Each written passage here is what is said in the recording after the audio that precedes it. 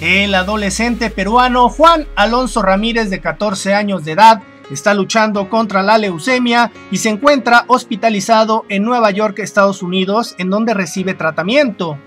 Recientemente el joven quedó conmocionado cuando recibió una videollamada del futbolista francés Kylian Mbappé, su ídolo, considerado como el mejor jugador del momento.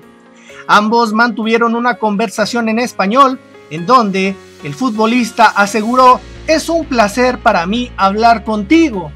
Por su parte, Juan le contestó a la estrella del PSG que es capitán de su equipo y que juega como arquero.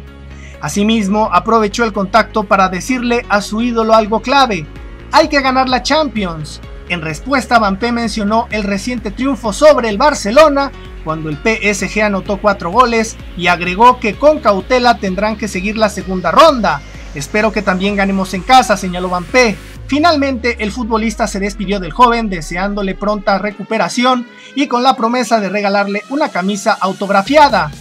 El gesto de P conmocionó al mundo y el video de su conversación con el niño se hizo viral rápidamente en las redes sociales, recordando a los aficionados que es un crack no solo en la cancha. Esta es la nota, youtubers. Yo soy Alfredo Mata. Les dejo un gran abrazo y que estén muy bien.